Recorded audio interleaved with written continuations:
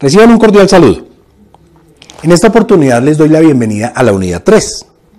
En la unidad 3 hablaremos acerca de organismos multilaterales que afectan el comercio mundial.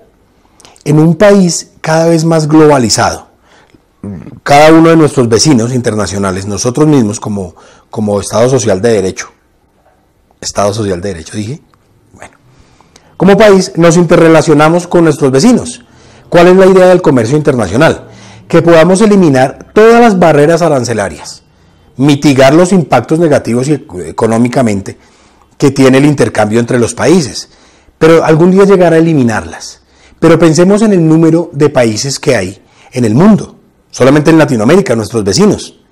¿sí? Si no hay una organización que medie, que arbitre de alguna manera, que tenga unos lineamientos que sean vinculantes de ejecución obligatoria para los países, esto sería un caos.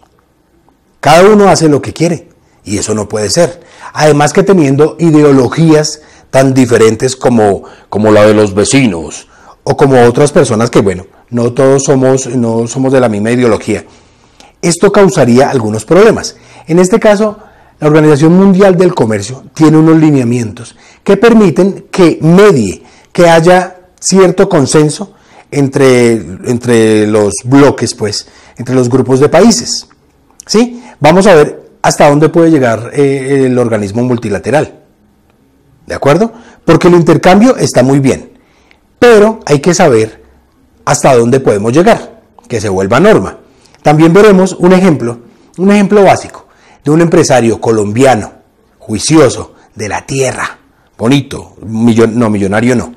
Resulta que fallece un familiar y le deja una herencia jugosa, un dinerillo. Él siempre tuvo el sueño de, de, tener un plan de mercadeo de marketing internacional para su compañía. Es un microempresario, hace productos de muy buena calidad.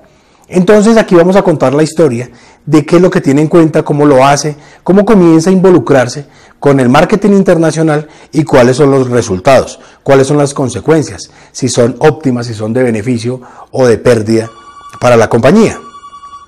Ahí llegó el empresario.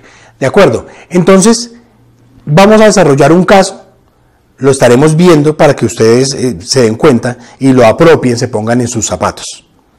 Espero disfruten el aprendizaje. Nos vemos en una próxima oportunidad. Muchas gracias.